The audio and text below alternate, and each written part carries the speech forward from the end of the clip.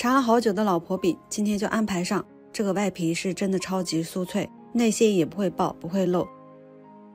现在做水油皮，把屏幕上的食材全部加在盆中，揉成团，再揉光滑。油酥面团搓均匀，密封冷藏备用。再来做内馅，内锅里加入清水、白糖、盐，煮开之后加入熟粉或者是熟糯米粉，快速拌成团。盛出来，趁热加入黄油揉均匀，再加入椰蓉和熟芝麻揉均匀。分成二十五克左右的小剂子备用。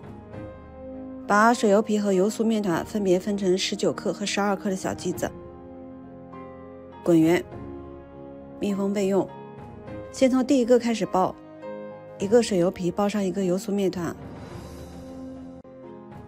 封好接口，全部包好密封。再从第一个包好的开始，稍微按扁一点，上擀一下，下擀一下，卷起来。接着第二次擀卷，参考视频的手法，全部擀卷好，放在保鲜盒，密封冷藏三十分钟左右。取一个面剂，两头折回来，整理成圆饼，擀薄。包上一个内馅，包起来就可以。按扁一点，再擀长一点，我们的生胚就做好了。摆放在烤盘上面，刷上蛋黄液，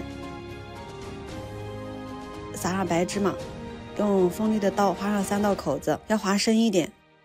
放进热好的烤箱，上下火一百七十度，二十分钟左右，老婆饼就可以吃到嘴里了。我做了低糖版本的，酥脆掉渣，内馅清甜不腻。